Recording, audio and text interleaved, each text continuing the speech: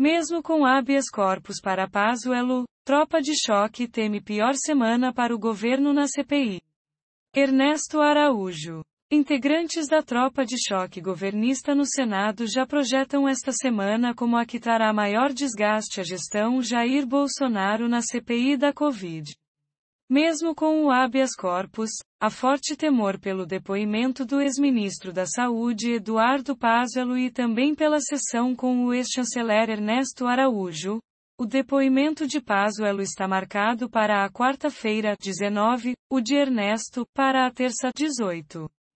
Pela decisão do Supremo Tribunal Federal, STF, o general Pazuello poderá ficar em silêncio apenas para questionamentos que possam incriminá-lo, mas estará obrigado a falar a verdade sobre terceiros, inclusive em relação a Bolsonaro.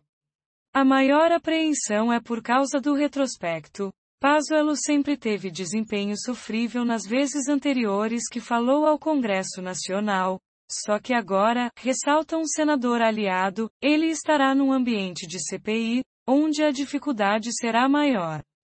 Além disso, há forte contrariedade na cúpula do exército com o movimento de Pazuello de se escudar na farda para ter buscado um habeas corpus, quando assumiu a saúde sem ir para a reserva, não se preocupou com a imagem das Forças Armadas, agora, usa a farda para se proteger, lamentou um general da reserva.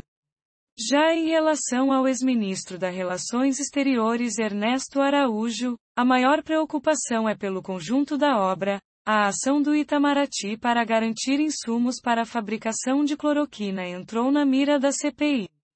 Documentos apontam que o ex-chanceler mobilizou o ministério para adquirir a medicação junto a parceiros internacionais, mesmo depois de a comunidade científica internacional ter afirmado que a cloroquina não tinha eficácia contra a Covid.